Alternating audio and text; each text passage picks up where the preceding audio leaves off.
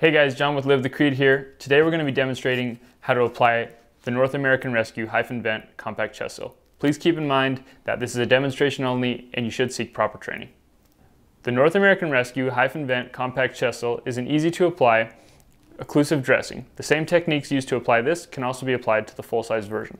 Chest seals are intended to be used with penetrating chest trauma. To apply the HyFin Vent Compact Chest Seal, simply peel open the packaging and remove the chest seal from the package. Take out the provided gauze and wipe away any blood or dirt from the, from the wound. Peel back the clear liner from the chest seal. Center this, the vent hole over the injury and press down firmly to secure the chest seal to the patient.